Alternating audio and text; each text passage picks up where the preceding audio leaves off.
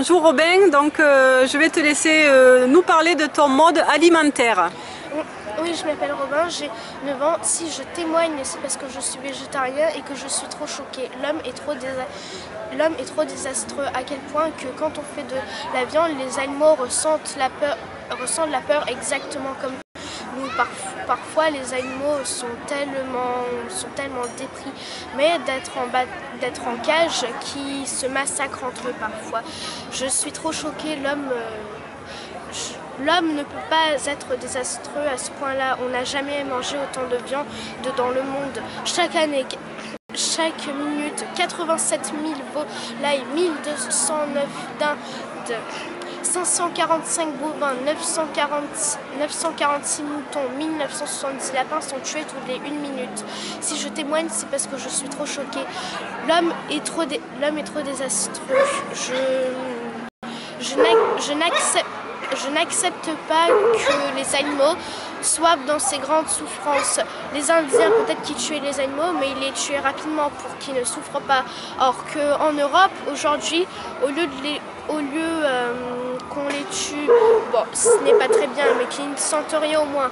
En Europe, maintenant, on les torture.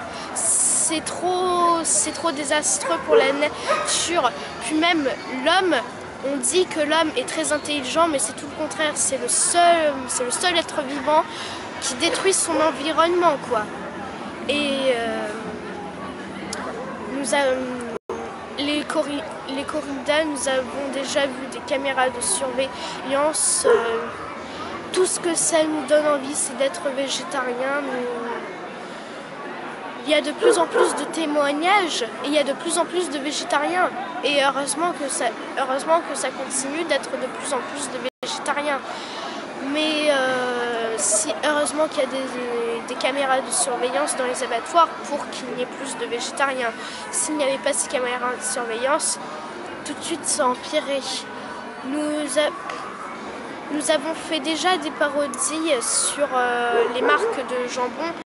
J'en ai déjà plusieurs en tête et euh, je remercie ces 70 associations qui ont participé pour cette journée de l'environnement. Merci Robin. Tu as envie de rajouter quelque chose pour les animaux ou pour euh, la planète? Non, non, merci, je me suis déjà bien déchaînée. Merci Robin, tout à fait. Bye. Bye.